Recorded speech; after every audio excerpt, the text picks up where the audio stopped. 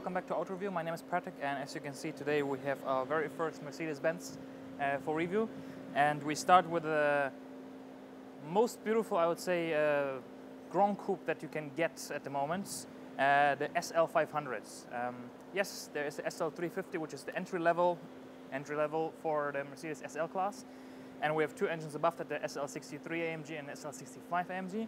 However, this car is really, really nice to drive. Uh, I enjoyed it for the whole weekend. Um, first of all, I have to apologize again. It's extremely hot today, even worse than before. It's 48 and a half degrees outside in the shade. Uh, here I have at least some wind and a bit of protection from the sun. So, what can I tell you about this car? Now, this one is the SL500, uh, 4.7 liter, 435 horsepower, uh, 700 newton meters of torque from this V8 between 1,800 to 3,500 RPM, 0 to 100 in 4.6 seconds, and top speed of 250 kilometers an hour electronically uh, limited. Um, best thing about this car, as you might know, is not only is it a coupe or a Grand Coupe, but at the same time it's a convertible, as this roof falls down into the trunk. I'll show it to you later. So let me give you some more details and then we go on the road. Right, just a bit more about the design before we go. Um, this car actually weighs 1,785 kilograms, which sounds a lot. However, compared to the previous SL, uh, it lost 125 kilograms. So that's quite a lot because uh, there's a lot of use of aluminum here. Um, the vents on the side actually, uh, they are not actually, they have no use. There's just a homage for the original SL uh, gull wing, which had those to just get the hot air from the brakes out. Uh, the hood, the, the, same thing about the, the, one on top. Actually, only one of them is functional to get air inside. The other one is actually just the decoy to make it look uh, uh, sane. Uh, we have the blinkers in the mirrors with the, um, how you call it, blind spot assistant, which is, works really, really well. Then keyless entry, you don't have to uh, put the key in, you don't have to lock it, you just lock it with the touch field here, or unlocks when you basically open the door. And this one, as you can see, uh, looks a bit different than from the original or from the stock SL500, as this one has the optional um, AMG package, which is the bumper, the side skirts, rear bumper, as well as the 19-inch uh, alloy wheels. So let's hop inside and I'll give you a bit more details there.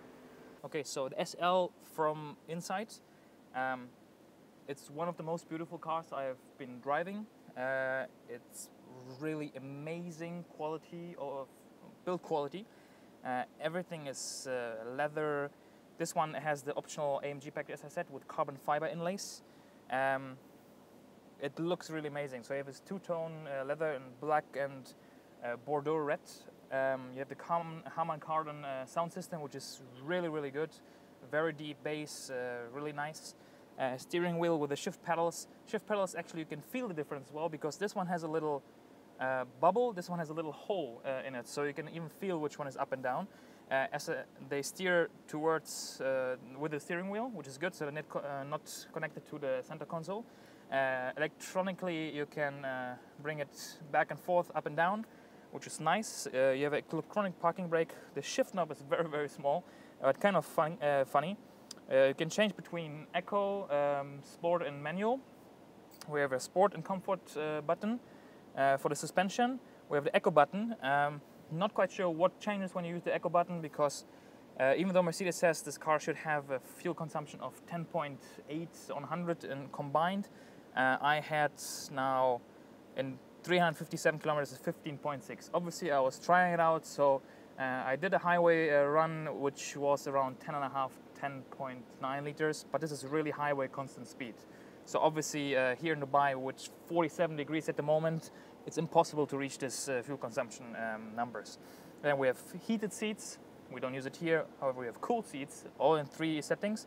And this one comes with the optional headrest uh, neck uh, heater uh, system. Uh, really, really nice if you live in a cold environment and you want to drive open in the winter months or when it's already a bit chilly.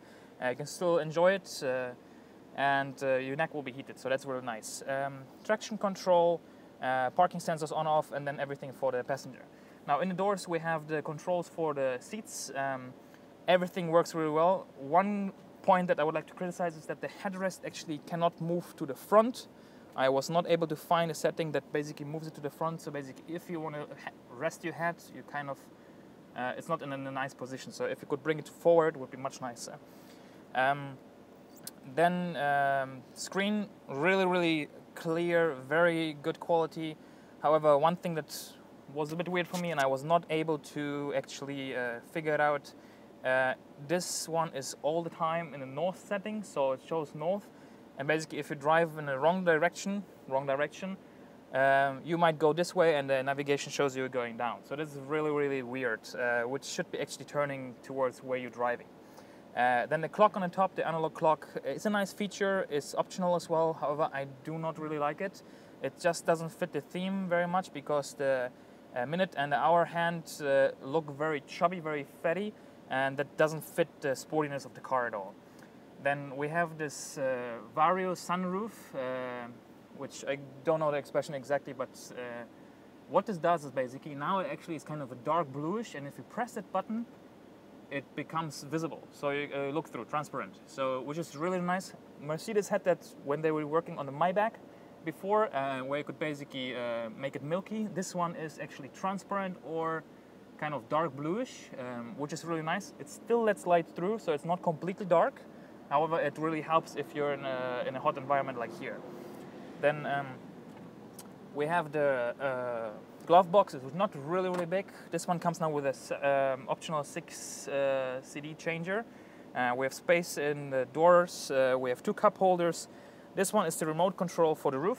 So I'm gonna open in a moment as well, as well as the windshield behind to not have as much uh, circulation of the wind.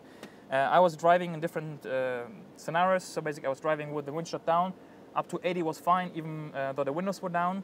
Then it started to have a lot of wind. Um, then I was driving with the windows up, so that was fine until 100. Everything above 100 without the windshield, it's really, really a lot of uh, wind uh, um, disturbance within the cabin of the car. So uh, you really have to put the windshield up. And everything above 120, 130, even though there's a windshield, it's still going to blow too much. Um, what else?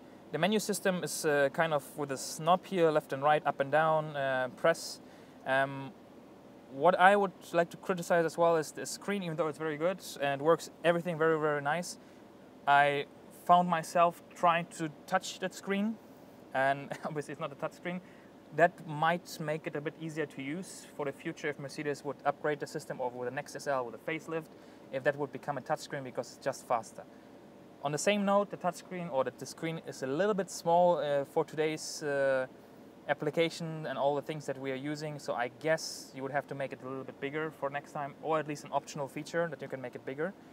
Uh, other than that, what I really like is this uh, Mercedes-Benz, what they now put in all the new models with the uh, old school writing, Mercedes-Benz, you find it in S-Class as well. What else do we have? Um, obviously it's a two-seater, however we have some space in the back and uh, there is an electronic uh, button here that actually moves the engine or the engines move the electric seats to the front there's a compartment behind the driver that you can open and close. It's approximately this big. I'll make a picture of it and show it to you. However, the problem is that the seat takes a really, really long time because it's electric. And yesterday when I was sitting outside and I wanted to get to it, it took really like half a minute or more from the moment moved, I put my stuff inside and then the moment it went back, it's too hot for that. So it would be a bit faster, it would be nicer. However, it's still good that they have it. Uh, behind the passenger seat, there's, uh, we don't have this compartment. Okay, so that's about the interior. Now let me show you the boot and all this function and system how it works, and then we finally hit the road. All right, SL500 from the back, or SL from the back. As you can see, the lights, as I said, I usually, I not usually, I don't like if it's orange, so this one is beautiful because it's just red and white. Perfect. SL500 badge on the left, nothing on the right, Mercedes star. We have a third brake light. On the bottom, we have the reverse light, very, very bright LEDs. Um, double exhaust left and right. And this one has a function as well that you can kick the boot and it opens as you can see, which is really nice if you come with stuff uh, in, your, uh, in your hands and you cannot open it, it will open. However, there would be a problem because now this one has uh, the cover for the roof. So this is the protection. If you don't have that uh, put in, you cannot open the roof. So if it's like that, where you can load stuff, you can have it like that, and you have all the space available. However, if you want to open the roof, you have to first put that in place. And you have to be careful because that one is manual and you have to really lock it in. Uh, this space is always available, as I said. This is where the roof usually is. So um, you can close it with a button. Here we go. And let me just open it up the roof and then show you how it basically works when the roof is in the trunk. All right, so now let's take a look inside how it looks when the roof is folded. Kick. So now it open. So here you see, this is the entire roof folded. And when you open it, it automatically goes up. So you can open this, put your stuff inside, and don't forget to close it, otherwise the roof will not close. And then you just press the button, roof goes down, boot closes, voila. Now let's hit the road. Okay, so let's go. Engage in drive and this is what happens if you push that little button here. That's the traction control. As I said, V8 435 horsepower, 700 newton meters of torque at 1800 RPM. You'll spin the wheels every time you accelerate fast if you don't need a traction control. You don't need the SL63 or 65 to have fun with this car. This is a beautiful car, drives amazing, very very good performance, uh, very comfortable even for longer distance. Now let's try the speed bump. Hate those things. It's okay. You, I have it now in comfort. In sport, it's a bit stiffer. Um, there is an optional uh, button that would be here then that actually can lift the car if you uh, drive on an uneven road or something like this. Just check with Mercedes-Benz when you have it. By the way, Mercedes-Benz, thank you very much Gargash, uh, which is the official Mercedes distributor here in Dubai for providing this car. And there will be many more reviews coming in the future. So uh, that would be an optional thing that uh, I would recommend to you guys, especially here in Dubai with all the speed bumps. Okay, so let's just turn around and then I'll tell you more about the car. Okay, it drives really, really well. Listen.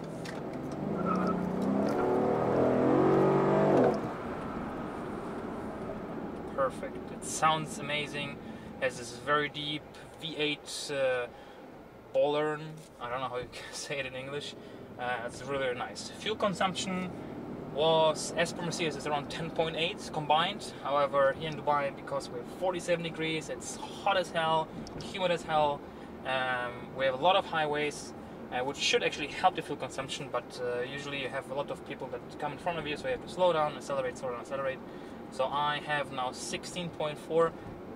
To be honest, it was around 15.8 before we were standing because uh, filming I left the car running. So realistically, you'll be driving something around 14 to 15 liters per 100 kilometers. Uh, I checked it on the highway, very constant speed, So I was able to drive with around 10.5, 10.8. So pretty much what Mercedes says. However, city environment, a lot of acceleration, a lot of braking. Um, in this heat, you will not be able to drive with less fuel. Now, it drives very, very nice. It's very direct. What I like is you can put the, um, what do you call this, the uh, suspension in either comfort or sport.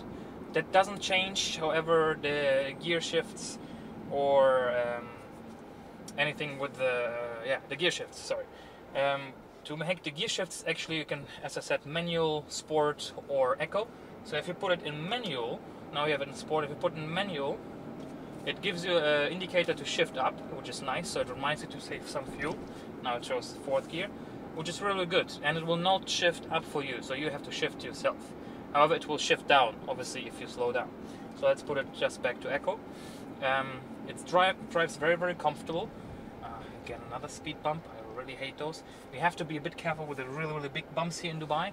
Uh, I encountered a few uh, where you rather go sideways a bit, uh, not sideways, uh, drifting, but uh, in an angle.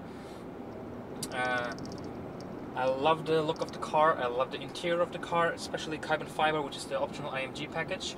Now, this car costs, and this is the one big advantage I would say, if you're not super rich and you have a car collection, uh, it costs base price around 449,000 dirhams. That's 90,000 euro here in Dubai.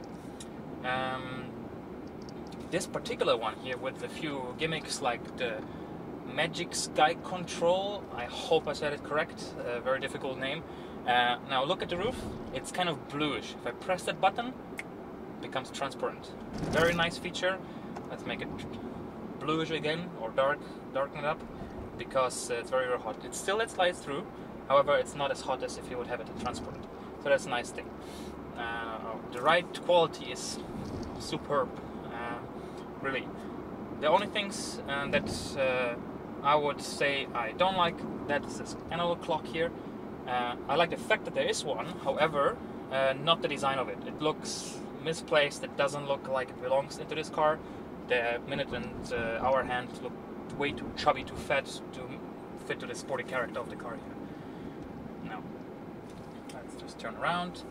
Um, another thing that I don't not not like, but I would uh, like to have improved would be the screen a bit bigger and make it a touch screen because I found myself that I was touching it a lot. Um, other than that, it drives really, really amazing. The main feature I really love are the seats in this car because they have so many optional um, functions.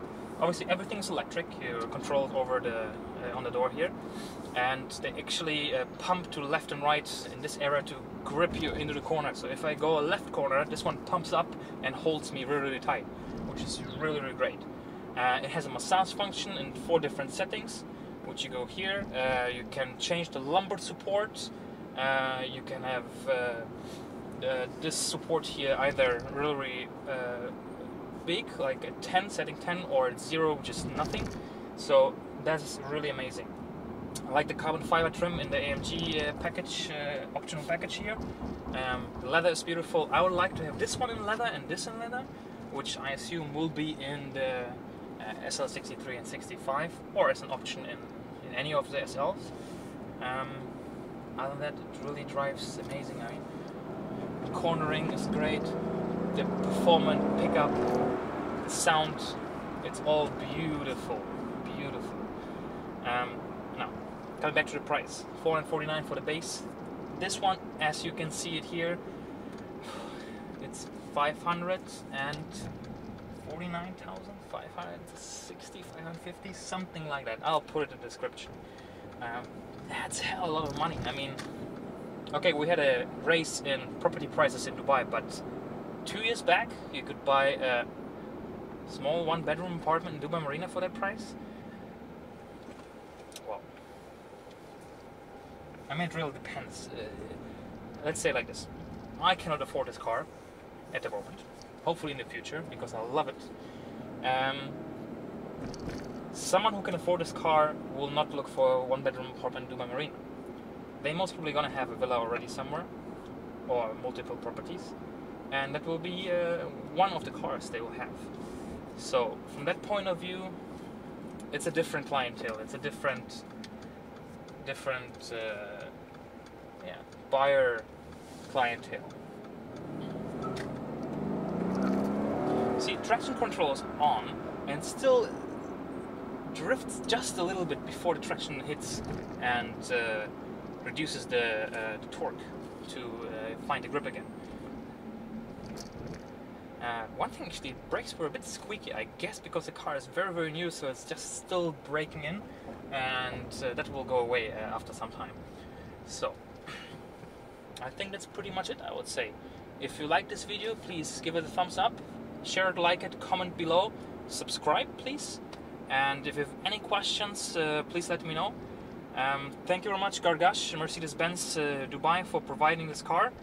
And uh, if the schedule is right, we should have uh, next week the um, Mercedes-Benz CLS uh, shooting brake, which is something really, nice looking and very rare in Dubai. So if you want something that is very unique and not many people have, uh, stay tuned, subscribe, and uh, uh, check in again in a week's time to see the new video. Thank you very much and see you next time.